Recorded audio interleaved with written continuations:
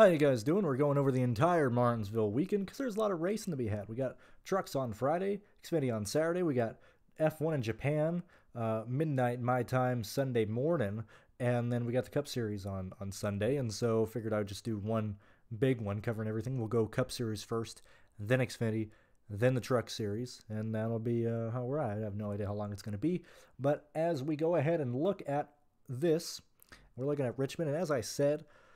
Some people have asked me to not delete these off of the screen from the old ones as I move on, but I will at least move sideways to where we'll start moving them off the screen. And so looking at the recent form, this is where everybody is coming in at. Actually, for this, actually I am going to remove these. I'll put them back after this, but I mainly just want these. Uh, I just want the recent races here. So who has been on top here recently as we look at the short tracks that the Cup Series has been in. We're clearly seeing two uh, dominant teams, and really it's been it's been taken over uh, by the Joe Gibbs Racing stable. Uh, when you look at specifically where those drivers are at this year, uh, I went ahead and uh, when I'm looking at my stuff, I got Bell as the sixth best driver last week as he drove through the field. As he drove through the field, and he most likely would have been competing to win the race if he had not spun uh, or sped on pit lane. Uh, he had to do a pass through and still drove back up through the field and, and finished very well. Um, other things to note at Richmond was that McDowell, uh, at least we at least we somewhat accurate about this of, of Martin Truex and them wanting to to get the lead and, and use pit strategy from that. McDowell also did that. He got caught um, being trapped two laps down. And uh, that's why, if you look back at how scoring went, you saw McDowell with a ton of fast laps because he was off sequence uh, with the rest of the field.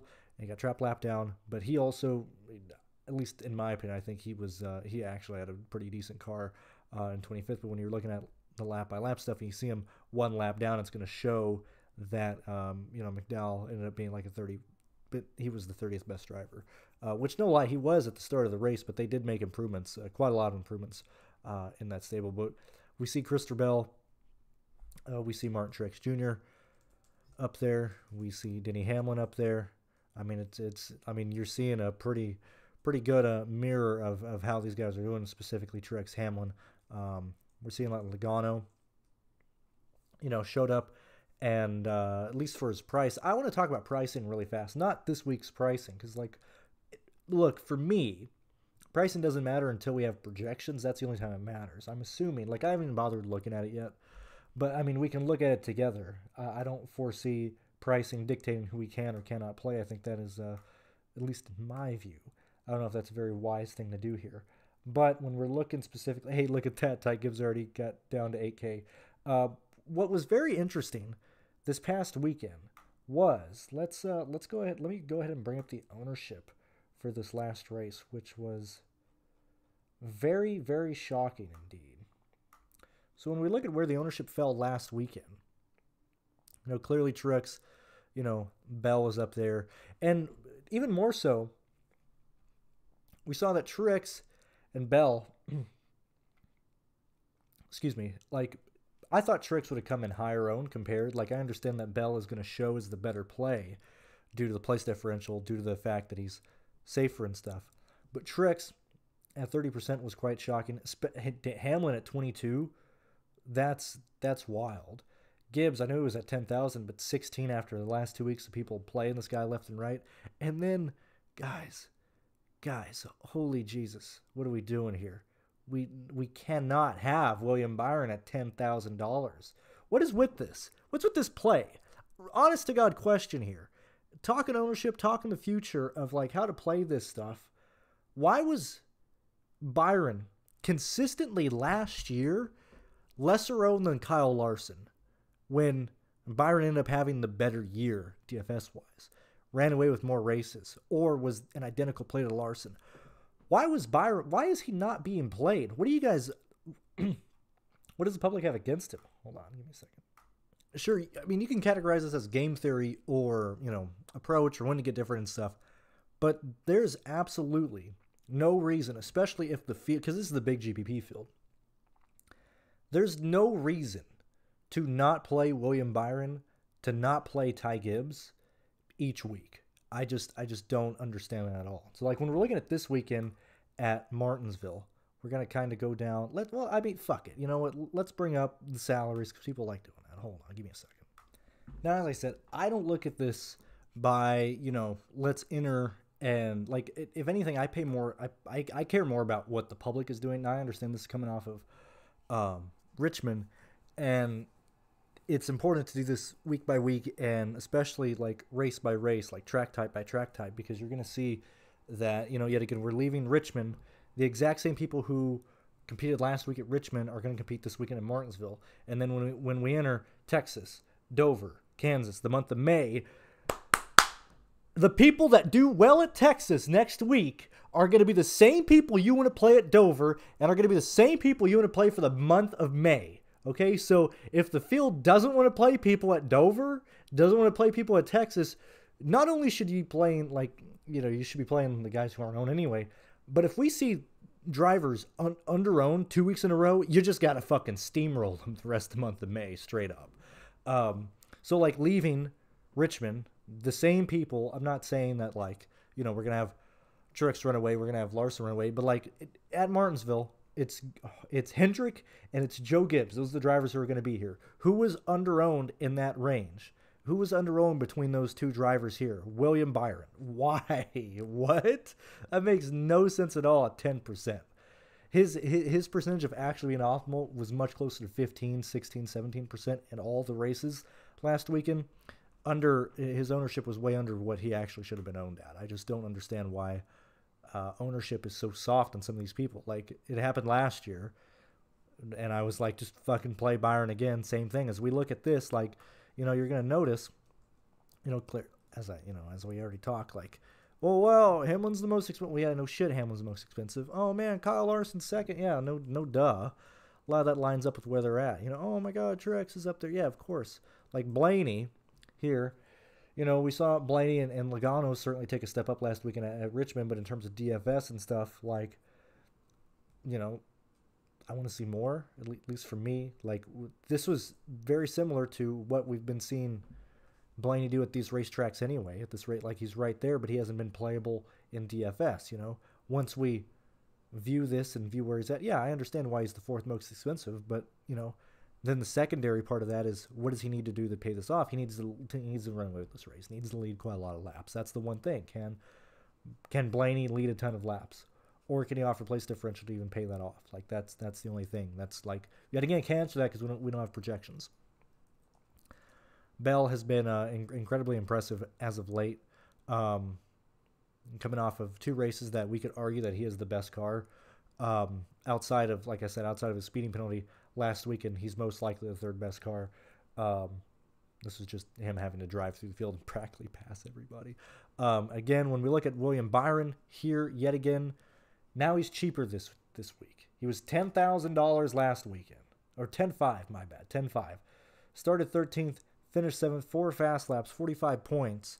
Yet again, when we're looking at where he's at, and I understand that we have several of his races outside the top ten in the past or last year.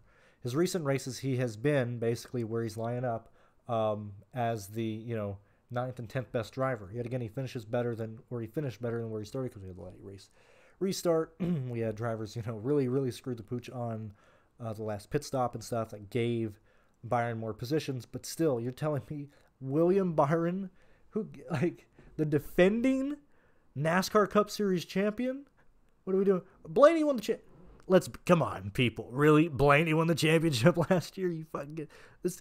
Byron, who won the championship last year, had a dominant car last year, where this was his worst races. Like his short track package, that was the worst place for William Byron last year. He was the top three car at the intermediates last year, or four or five. You know, whatever. We'll we'll bring that up when we get to Texas next week.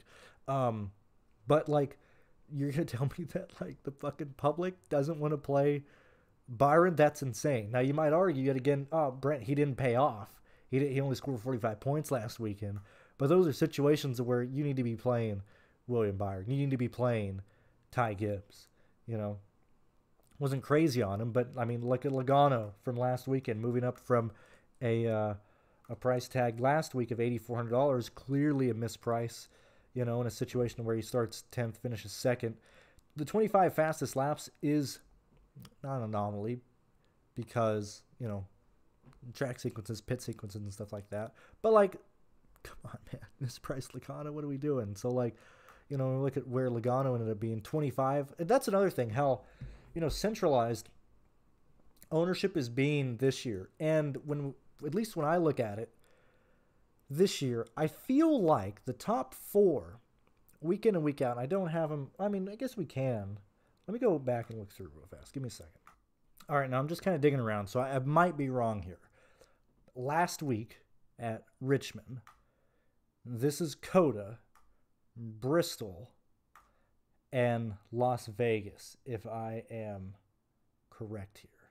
I could be wrong, but I'm pretty sure this is the Las Vegas race. And as we're just looking through where this ownership ends up coming out in, and yet again, this is ranked by, uh, you know, sorted by percentage ownership. These are more so looking at the adjusted um, ownership of Sheets' projected ownership and what the percent was drafted.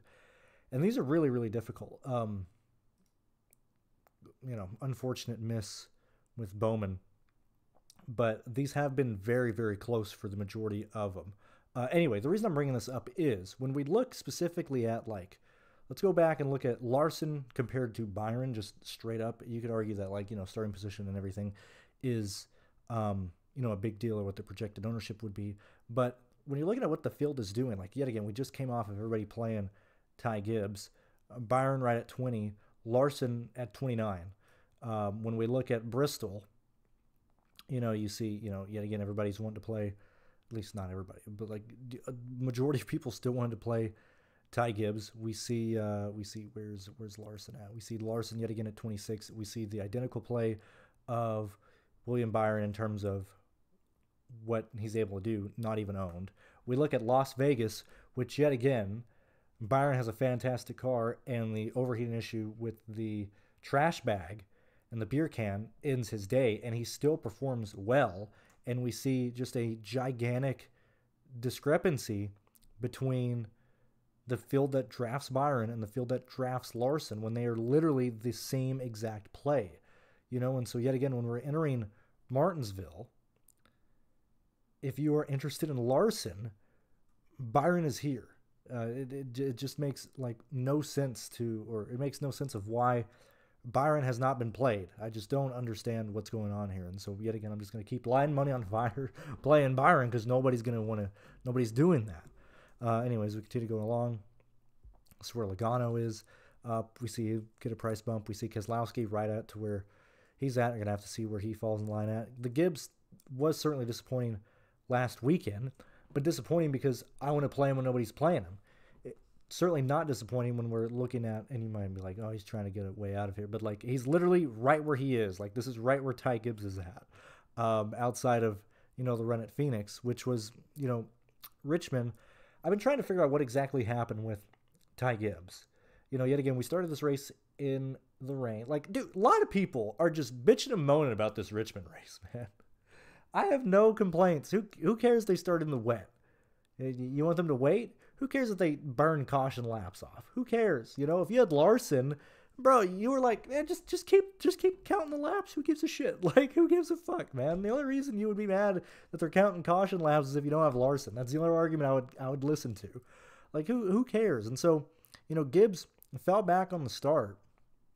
You know, ended up running right in the uh, the low teens all day uh, last weekend, rather, and just got stuck running here. I, I, you know, pit stops were fine. Nothing, nothing too crazy on on on pit lane. Just wasn't able to get the track position and stuff.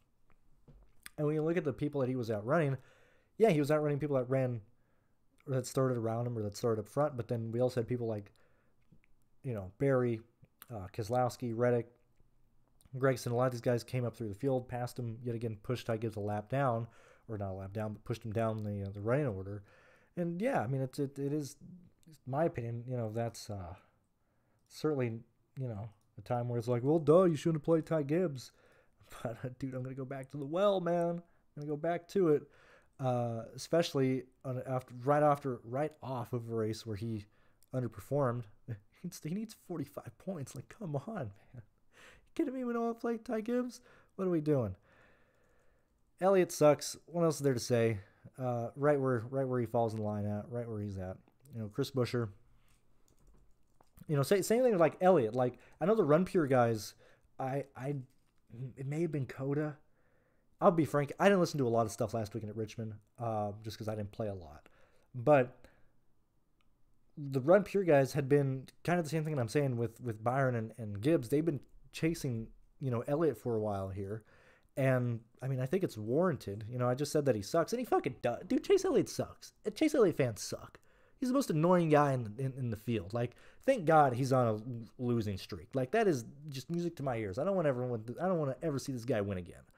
But um, like, dude, same thing. Like Chase Elliott, 8800 if we if we like Larson, okay, because we go everybody goes goo goo gaga over Wyatt Powell Larson, man. They everybody just loves Larson. Okay? We're not giving the love to William Byron, you know, despite the fact he's an identical play. We liked, or we can understand that we let's check where Bowman's lying at. Where's Bowman at? Bowman's clearly the fourth Hendrick car, you know, right under eight thousand dollars in a situation where depending on where he's at, he could very easily hit value and, and go over that why aren't we playing? Why aren't we? Where? Okay, let's see. Let's check it out. Where has Elliott's ownership been? Has anybody even been playing Elliott recently? You know, 13. Uh, we look back at whatever the hell this race was. Yet again, I forgot. Uh, we're looking at Elliott. 16. Let's see. I believe this is Bristol. We're looking at Elliott. I, I just missed him. Had to miss him. Had to miss him. I mean, either missed him or I'm, or I'm just blind. I'm blind. Oh, 33. So a lot of people played him at Bristol. And were they rewarded or were they taken behind the shed and shot? Uh, 37 points at 83. I'm going to assume this is Bristol. Don't remember. But uh, looking at the prices, he's not scored very well since uh, Atlanta with 44 points. I'm assuming that that was a uh, rather annoying bust for some people at, at Las Vegas. At the Pennzoil 400, he scores 30 points, and he is drafted 11%. So, you know, yet again, you know, so we're seeing Byron, Ty Gibbs, Chase Elliott as people who um, haven't been um, been drafted a lot. Uh, we're seeing these guys, you know, be, be uh, I just went blank. What was I going to say? I lost my train of thought. Oh, like you know, like these guys aren't being played by the field and by people. So, you know, these are people, drivers rather, uh, that I would want to start playing more of. That I want to like start, you know, having ownership to, especially if the field has really solidified that they're just not going to play them. Uh, and we haven't necessarily seen, you know, a ton of reasons to like go crazy over Elliott. But like, I mean, look, man, when we're looking at these races, you you don't you don't just go from an 18th to winning races. You know, you you go from being you know a 10th place car to possibly having a good run, mm, good, you know, not series, good uh, good run in a race or whatever get in the top five, and then you use pit road strategy. You get the lead that way. Like Elliott is an individual, same thing with Byron, same thing with Gibbs, of where they're running, they are in positions that they can take advantage of late race chaos, of pit strategy, of even just where the cautions fall to leapfrog people and finish well. Like this is the situation where like yeah, like I I want to play more of these guys that aren't being owned as much. Especially that was my point that I was going to make up earlier when I put up the uh, the ownership. We're seeing that we have four, which I have to look back at last year and the year before. Truck and Xfinity isn't really comparable because, like in the Truck Series, like the most owned guy is is usually like the best play. Like we've seen, you know, Ben Rhodes like seventy five percent recently. We've seen other people in the sixties and seventies in Truck and Xfinity, but for good reason. But for the Cup Series, we're seeing a pretty big, you know, uh, grouping of like the top three to four ownerships up top, and then just it's just spread out. Like there is nothing going on from like fifth, sixth highest ownership down. Like it's just ten percent across the board practically. Um, and so like when I see that, I'm much more interested in, in probably playing, you know, certainly more chalk or like, you know, drilling in on, on the good plays and stuff and like three of my positions. And the other three in my lineup, I don't gotta really worry about duplication. I don't really worry or I'm not gonna really worry about the ownership of the other three guys, you know, especially if it's landing on people that the field isn't playing. And I'm kind of highlighting here that we're kind of seeing that hasn't been played recently. I mean, that's that's kind of what I want to do, especially as we enter the 1.5s. You know, I know this is a Martinsville preview, but as we get closer to Texas next week, as we get closer to Dover after Talladega, Hendrick, Toyota, I want to play those guys. I want to play the guys in those teams that aren't being played uh, right now The people are either biased to or not interested in or whatever. You know, we look recently and we see uh, Chris Buescher 86. I'd much rather play him at that price here. We've seen Reddick um, struggle, couldn't get anything done at Richmond. And when we look at his two Martinsville races, nothing to really, you know, scream about. I understand he had his first, you know, the first race last year, had the seventh best car, but past that, not really seeing anything that's making me want to charge at him and stuff. Same thing with Chastain. Uh, very much a, a price uh, slash projection based opinion on him once we get the uh, the starting grid and stuff. Kyle Busch. I mean, just Mean, Kyle Busch at eighty one hundred dollars. Like that's you know like notice notice who we're getting as like a cheap, especially like if we're paying up. Just just looking at the salary, you can only afford realistically how this race how these races have been going. As we the optimal has been basically two dominated lineups recently, um, or three if they're like mispriced and stuff. The strategy that I usually do is try and just jam as many lap leaders as possible. Um, so typically I'm chasing three, and if I miss one, well, at least I have two others that'll carry me. But like when we're looking at races like this, like this is a real situation. Depending on where people start and what the uh, the grid ends up being, there's a realistic chance that you only need one of the expensive guys, and you can build very balanced lineups with the people in this range here. Even from Christopher Bell down, I mean, I yet again that's why preview and like looking at salary and stuff is kind of useless. It's Wednesday. Uh, we need projections to justify whether these salaries matter or not and how the builds break down. But like, who look at the people we got in the 8K range here, man. Very very interesting. Uh, we got Bubba Wallace, who yet again Picker just doesn't want to win a race. Uh, unfortunate end to his day at Richmond, uh, but discounted seventy seven hundred dollars. Um, if you remember another driver uh, with the last name Wallace um, not talking Rusty. Uh, this guy who just disappeared off the face of the earth. Don't know what happened to him. But this guy called Darrell Wallace Jr. Uh, used to be pretty decent at Martinsville in the other series. So, like, I, I don't know. Bubba Wallace, Darrell Wallace, they might be the same person, man. Have you noticed they're not, they, they haven't been in the same room together? That's kind of sus. Bubba Wallace, $7,700. Uh, Chase Briscoe, which, so, this has also been interesting we have seen the Stewart-Haas guys be horrific qualifiers. Horrific qualifiers. And they have been just racking up place, dif- place differential. Um, yet again, now that they've done it multiple times, like you look at Briscoe starting 32nd uh, at Richmond last weekend, finishing 18th. Uh, sure, it's a road course, whatever, but started 32nd at COTA. Uh, and we look at like those two instances where he's starting the back. We look at Ryan Preece starting the back of the field, and he has started 25th at Bristol, to 14th, uh, 36th at Las Vegas, to 23rd. Um, yes, he has the 27th uh, start, 20 finish, 23rd finish, 23rd finishing position at Phoenix.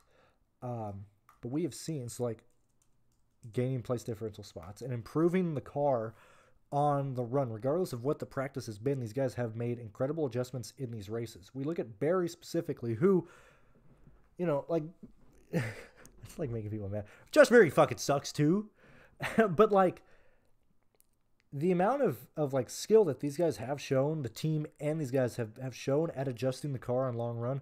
Berry started 26 at Las Vegas, finishes 20th. 36 at Phoenix, finishes 26th you know, I understand that's 30 points. He was at 61 for for Las Vegas. 72 at, at Phoenix isn't going to do a darn thing when they're scoring 26 points. But, you know, starting 30th last weekend at Richmond, finishing 11th, like all the Stewart Haas guys have shown the ability to gain positions, make the car better on in the actual race. Like Briscoe, Berry, with them mid sevens, you know, that is um, we're looking right at like, you know, mid to low, you know, like mid to high 30s uh, to be scoring 5x. These are guys that I have been more and more paying attention to how they've been racing. I've been more and more open to paying the 7K that these guys have been demanding, you know, the, the Stewart Haas guys, as place differential in these races because they have shown the ability to score pretty much near uh, 5x when they are starting towards the back of the field. And so if we run into a situation to where we see some Stewart Haas guys starting in the back of the field in the 30s at this race, even at other races, intermediate tracks, like yes, the only way you don't want to play them is if they start pushing like the 8K range. But here at the 7K range right now, like these guys are very, very much in play. So Briscoe, Berry, Preece, all in the 7K range. Actually, Gragson as well. These four guys are pretty much, in my opinions, lock for 5X returns if they are starting outside the top uh, 25. Suarez at 67. Um, sucks. I don't know. Uh, especially when you're looking at the guys priced around him and what how they've been able to either pay off their price tag and stuff like that. Um, looking at Dillon, who's just been abysmal. Yet again, got wrecked early at Phoenix, but I can't imagine he was any he was going to be anywhere better than, excuse me, this type of average. When we're looking at Jones, unfortunate for sure of just how they've been running. Excuse me. Nemechek finishes very well late in the race last weekend, if I remember correctly. Uh, no, he doesn't. He finished 25th. Who the fuck was I thinking of? I may have been thinking of Jones. I think Jones gained a ton of positions late in the race. Yeah, he finishes 14th. Whereas Jones last week, yet again, late race restart, um, and how things are really happening or really changing in that um, race. Basically, 23rd best driver all day from Jones ends up finishing 14th. Um, Cindric has been pretty abysmal, pretty disappointing um, in this range. McDowell yet again, who got trapped a lap down last weekend or last week, uh, which is why, like, statistically, that was his worst uh, race based on what I look at. We very much saw him line up right in the middle of this situation here. Same thing at like $6,300. Todd Gilliland starts up front, basically has this good of a car. I mean, McDowell, Gilliland, the 7K range for place differential. These guys are off ramp. These guys in the back of the field we're, we're seeing that these guys are pretty much worth uh, that price range, and, and you don't really have to go a lot of different directions. We're seeing that Stenhouse is making a pretty big decrease down with the JDT, whatever the hell they're called, Daugherty Racing.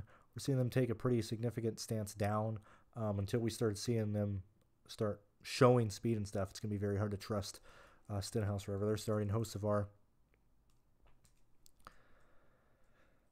Just going to have to see from um, just gonna have to see where they're at. Like LaJoie, the Spire guys have been horrific at short tracks. Um, so like yet again, when people ask me, How, "What do you think Zane Smith's gonna do?" I have to just base it off of what LaJoie and what uh, um, Hocevar have been doing as well. so if these guys, like if Hocevar, LaJoie, if this entire Spire organization does anything, I'm certainly probably not going to be on it. Uh, that'll probably take me by surprise. We're seeing the Rick Ware cars like not be the worst car, which yet again, like, you know, I know we just had Greg Golden get arrested. Um, you know, shout out to the OG Rick Ware fans out there. But like, dude, Haley, Haley, this is this is pretty this is pretty significant, man. I mean, Rick Ware used to be the slowest guys on the track. This is uh now 55. That's a bit expensive, but we're seeing that like I mean, we're seeing some wild stuff, you know. MBM is back to being where they should be, the, the worst ranked car start at 5,000. That is a tough, tough buy. Uh, he really should have been like 48, 42. Uh, I don't think he can really be in contention here. But Grala, Grala's been showing speed. Hemric is is is, is, uh, is pretty horrific. Um, but anyway, I mean, we can kind of see as, as we go along. The main contenders for this week to lead laps, in my opinion, would be uh, yet again very much second verse, same as the first. Joe Gibbs guys up top, uh, and then the Hendrick guys competing with them. Uh, we're gonna have to see exactly what the Penske guys are gonna bring uh, through qualifying and practice to have an opinion on them. Uh, and that that's really it for the Cup Series. Let's move on to the Xfinity Series, real, really, really, very fast. Um, we're just gonna just move this off. It'll just be me talking. Um, here, so as we look at Xfinity and where they're at, when we look back at the previous years of, you know, we look back at how dominant uh, Joe Gibbs had been at Richmond uh, last week. We have seen in the past that following the Richmond domination and even the lack thereof of when, you know, Nemechek and Sammy Smith went a lap down, those guys were still the fastest following that week at Martinsville, or the following week at Martinsville. And so when you look at who was fast last weekend and who was fast, who's going to be fast this weekend, it is going to be Aric Almirola. It is going to be Chandler Smith as your primary guys who I would imagine are going to compete for the race lead. Um, I think it's going to be very argued to, or very hard to argue that. Probably third, fourth, and fifth in you know the expected you know speed that these guys are going to have would probably be Allgaier, um, Cole Custer, and really past that, like we're I just want to see what they're doing in practice and where these guys are qualifying and where their pit stalls are uh, to really shake up the the top of the field here. Um, we have seen chaos in the past at this race uh, even for these bottom two series between the Xfinity Series and the Truck Series. And so when you look at, you know, the 40 guys in this race qualifying for 38 spots, we're going to send two guys home. So thank God that's like we're hopefully getting rid of these these bums who shouldn't even be here. Um, and we look at the amount of carnage that can happen that we have seen at these races. Um, I am much more likely to lean towards place differential in this race and or and or guys who are affordable that you can fit in with Allgaier with Allgaier with uh, or just with Justin Allgaier with Chandler Smith with Aric Almirola that are going to be um, maintain a track position that is probably inside the top eight uh, because that at least keep them probably away from the chaos that's going to happen in the teens and in the 20s this weekend. When we're looking at that, just entering really fast, we're looking at it really fast. Um, where these guys are falling in line. Austin Hill, 92. Jesse Love, 94. Riley Herbst, 9,000 would probably be the people that I want to get in with my Chandler Smith, Aric Almirola uh, lineup. So when you build that way, you're left with 6,300 on average. Uh, the rest of that is going to be dependent on who gets removed. Like if we lose, if we lose AO, if we lose Cram, uh, you know, then we're losing the bottom or the, the very bottom of the salaries and stuff. But that that's mainly how I want to approach this race. It's probably, and again, unless I see something crazy, two of Chandler Smith, Allgaier, and Almirola, possibly Cole Custer, uh, but two of the guys in the in the high 10k range, and then one guy in the nine thousand dollar range, which would most likely be Austin Hill, uh, 10 seconds to love, Jesse Love, or Riley Herbst, or even Carson Kvapil um, in the 85. Yeah, what do you think of Carson? Same thing as we did last weekend with Josh Berry. Okay, when you look at Carson Kvapil, just imagine Brandon Jones in this car. Multiply that uh, experience, talent, uh, upside, whatever the fuck you want to call it, by like 1.15, and that's what Carson Kvapil is. Um, no reason to even continue past that. Good driver. No reason to go overweight on him just because you know, Bubba Pollard hopped in and smashed last weekend, but he qualified for it. Like, doesn't even matter. That, that's where Carson Kvapil is. Um, really, past that, I want to see specifically what happens in qualifying and, and practice for this Martinsville race for the Xfinity Series, just because we've seen so much chaos in this race. Like, when we look back at the last few, I mean, we can do that. We can certainly talk about the, the last few um, Xfinity Series races just to highlight the chaos, rather uh, and kind of why I'm not really talking about a lot of this stuff. Let me just make sure. Yeah. Um, let's just look at the last four races here and look at the amount of green flag laps, or rather, green flag runs we're getting. Uh, final race in 2023. I don't like how they do this. Let's let's move this. Like first race 2023, race eight. We look at the amount of guys who are DNFs. So we're probably gonna have actually, we won't even say how many we're going to have. We're going to look at each individual race and see what happens. But we got a lot of crashes. Average green flag run of 16.8 laps. Third of the third of the race ran under yellow. Having looked at who's been leading, whatever the heck is going on here, absolute clusterfuck in this race. Uh, more the, nearly 40% of the race ran under yellow. Average run of 10 laps. Okay, we move into last year's events. The spring race, not as much DNF percentage, but oh boy, that just that just means more guys were able to keep running. Less guys are taken out, but uh, nearly identical. You know, 40% uh, under yellow. Basically, 10 laps green is, is what we're seeing here. The final race last year, uh, yet again, not as many DNFs. So just looking at this, you could be like, okay, cool. Outside of the big boy DNF race here, uh, we're looking probably right at like, you know, anywhere from six to eight DNFs in this race, give or take. But uh, we are looking at uh, at least a third of this race being ran under yellow. Uh, not a lot of green flag runs, or certainly not a long run, especially when we start looking at the amount of laps. The longest run in this race was 36. Uh, we look at the longest run in this race here was 35. The longest run in this race was 32 longest run in this race was 37. And so, no reason to even bother projecting a, a, run that's longer than 40 laps. When we're looking at who was fast in these races, you know, we see Joe Gibbs coming off uh, really pissed off performance of what they did at, at Richmond the, the week before this. Uh, finished first and second. We look at this race here and who led laps. Uh, we have, hey, Joe Gibbs showing up. Hey, we have Joe Gibbs showing up. Uh, Austin Hill, our two big lap leaders were the Joe Gibbs boys. We look at the two races last year, and the teams that were killing the field was good old hey, it was uh, Joe Gibbs, uh, Joe Gibbs, uh, and Noah, so Junior Motorsports, and then the final race last year was, or the final race in 2022. I did this backwards actually. Oops, this was last year. My bad. Uh, and then the races in 2022, uh, Joe Gibbs uh, and Junior Motorsports and uh, Joe Gibbs again, and Junior Motorsports. So it's literally those two teams fighting for the leads here, fighting for the lead here.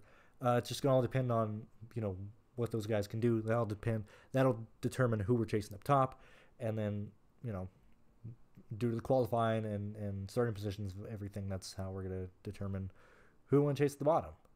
Like I want to wait until we have the grid and, and projections start looking at uh, things that nature. I guess let's go ahead and just look at the truck series. Uh, we're not going to really see anything too shocking here. Uh, we're going to want to we're going to want to chase uh, Tricon. We're going to want to chase um, or prioritize. You know, it's the same fuck. It's the same fucking people each week, yo. Like, we want to play Tricon. We want to play Nicholas Sanchez. Uh, we're gonna want to chase McAnally. Like, holy shit, that is like seven to eight cars. That's the majority of your top ten guys. Like, that's it. that's why like let's just wait for the starting grid and uh, that's how we can determine who we want to chase. Like I like Christian Eckes. I like Nicholas Sanchez. I like um, Corey Heim. Those are my favorites entering this race. Like that, that brother man. I mean that that's mainly it. I don't know if I remember. I forgot if I opened these or not, but we're just gonna open them again. Looking at the last three races, uh, let's go ahead. Let me remember. So most recent, second. Re- so three years ago, we look at this race here. Good, good lord, man. Good lord. That's rough to look at. A lot of guys still running though. But holy God, that's rough to look at. Two years ago, look at this race here. Whoa, man. Third of the race. like, bro, that is that's nuts. Uh, last year's race, are you guys seeing this? You guys seeing this? You guys seeing this? You guys, brother, man, we got fifty point eight percent of this race ran under yellow. Are you seeing this, my guys? Are you seeing this? Now, this had less yellows rather, but a lot of this was, uh, you know, due to the rain, which I I believe this ended because of the uh, because of the the rain last year. But still, man, that's crazy. That is nuts. Um, so past that, that's where we're at. We're gonna have to. I want to see where everybody lines up. uh, based on starting grid and practice speed and everything like that. So we can go ahead and, and determine how we want projections to look and everything like that. I do believe we have our favorite Truck Series driver back. Now, I, I'm not going to speak about Steven too much because, yet again, his mom tweeted at me. I have nothing more to say. I there's like truly no reason for me to like talk shit to this man anymore because like that's what else do what else do I want as a troll? Like that that's insane. But um I would love it if I could just play Steven and he could be optimal. That'd be the funniest fucking thing ever. That'd be awesome. Um I guess we'll we'll end it um with this being quite funny. Um yeah, we'll just go ahead and end the uh, the race with with this that happened earlier last week, bro. We got these two morons colliding into each other. Like, dude, NASCAR Twitter is incredible. Like Brett Griffin called him a dipshit. Like that. That's incredible because Brett Griffin is also a fucking idiot. Like, I love it, man. I love. I love it. Um, cannot wait to see what happens this weekend. Um, and past that, I will see you guys in the live show Friday. Don't know what time. Uh, probably an hour. Actually, I gotta see. Um, do do do do do. Let me let me look. The truck race starts 7:30 Eastern time, 6:30 my time.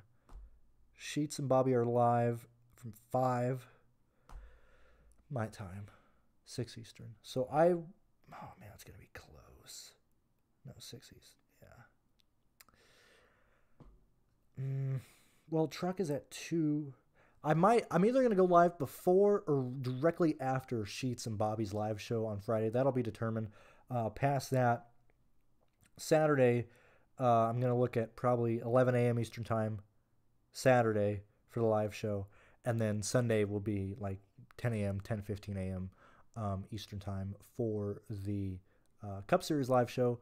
Uh, past that, if you guys have any questions or anything, go ahead and tweet at me or DM me and stuff. Or if you're in the Discord, uh, or if you're not in the Discord and you would like some one-on-one time with me, as I as I do with some people, like especially right now because I got nothing going on like on Monday and Tuesday. So like if anybody wants me to go over their stuff or talk to them one-on-one, things of that nature, feel free to reach out and I will happily do that. Um, if you want to join us and support me, support all the hard work here at TrueDFS, join the link below. Um, I believe that's mainly it. I'll see you guys on the live shows this weekend. So uh, peace out, and we'll just uh, we'll see what this man does, man. Uh, you know, realistically, I know I'm about to stand it. I was like, man, what would the PR disaster be if I was like, if Steven wrecks, I'll give out merch, but like, I got merch to give out. But I was like, God, that'd be cool. Or like, you know, project what lap Steven goes a lap down, and maybe I can give like a month free. Like, you know, I was thinking of all that earlier in the week, and I was like, I probably shouldn't do that. That'd probably be bad PR. But uh, you you can clearly see what what avenue I'm on. If we can if we can flip this guy over at Martinsville, that'd be incredible. See you guys later.